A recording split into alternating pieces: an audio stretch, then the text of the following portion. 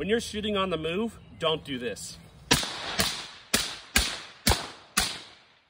So if you see here, all my shots, they're kind of all over the place. And the reasoning is when I'm walking, I'm bouncing up and down. I'm not thinking about it. I'm just walking like I would normally.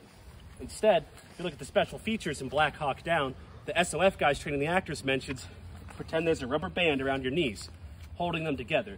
And I also think, imagine a plane right here, and I'm gonna just keep my shoulders on that plane as I'm moving forward. So let's see how that does.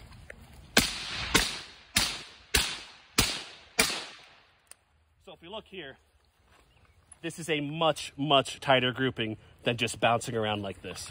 So do that.